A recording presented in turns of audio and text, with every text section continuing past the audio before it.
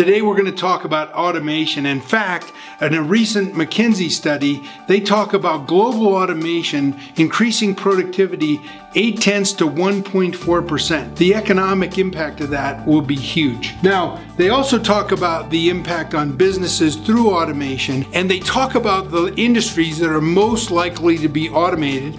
And the number one industry is the restaurant industry, food service, at a whopping 73% potential. What's lacking is any strategy, and hope is not a strategy. You see, at SYNQ3, we have a strategy. Folks tell me, well, automation is going to reduce the labor force by 30%. That's nonsense. We delegate to technology that which technology is best at, and we elevate people into roles that are more suitable just for them. We sell more food, we raise checks, we make more sales and more profits. That's an effective strategy for automation.